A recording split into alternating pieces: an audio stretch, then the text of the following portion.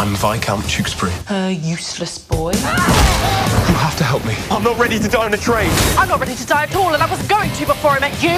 Hey guys আজকে হলিউডের দুটো মুভিজ নিয়ে আলোচনা করব যেগুলো নেটফ্লিক্সে রিলিজ হবে তার মধ্যে একটা হলো এলোনা হোমস পার্ট টু আর আরেকটা হলো no one gets out alive নিয়ে এলোনা Holmes adventure thriller movie directed by Harry Bradbeer IMDb rating অনুযায়ী সিক্স পয়েন্ট সিক্স এবং রোটান টমেটোতে একানব্বই শতাংশ ফ্রেশ রিলিজ করেছিল আগের বছর মানে দু হাজার কুড়ির তেইশে সেপ্টেম্বর যারা যারা এখনও সিনেমাটা দেখোনি, যাও গিয়ে নেটফ্লিক্সে দেখে নাও। সিনেমাটা আমার খুবই ভালো লেগেছিল। আর কেননা অ্যালোনা হোমস পার্ট ওয়ান না দেখা থাকলে হয়তো এস সিকুয়াল অ্যালোনা হোমস পার্ট টু নাও বুঝতে পারো। সেকেন্ড পার্টের শুট শুরু হচ্ছে পরের মাসে মানে অক্টোবর থেকে।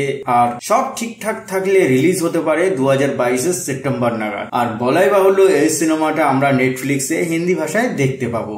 এবার আসি নেটফ্লিক্সের বহু প্রতীক্ষিত ছবি horror mystery survival movie no one gets out alive এর বিষয়ে যার ইতিমধ্যে ট্রেলারটা রিলিজ হয়ে গেছে।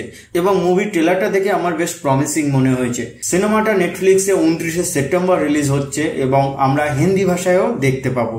আর যারা যারা এখনও ট্রেলারটা দেখোনি, চাইলে দেখতে পারো, বেশ ভালোই লাগবে। মুভিটা একটা অ্যাওয়ার্ড উইনিং নোবেলের উপর বেস করে বানানো হয়েছে directed by Santiago ম্যানগিনি written by Adam Santiago basically horror জন্য সিনেমা বানায়, এর আগে যে কটা শর্ট ফিল্ম বানিয়েছে সব কটাই অ্যাওয়ার্ড পেয়েছে। তো এই ছিল আজকের হলিউড আপডেট ভিডিওটা আপনাদের কেমন লাগল অবশ্যই লাইক অথবা ডিসলাইক দিয়ে জানাতে পারেন। তো এই ধরনের হলিউড আপডেট পেতে গেলে অবশ্যই আমার চ্যানেলটা সাবস্ক্রাইব করতে হবে। দেখা হচ্ছে পরবর্তী video till then take care and goodbye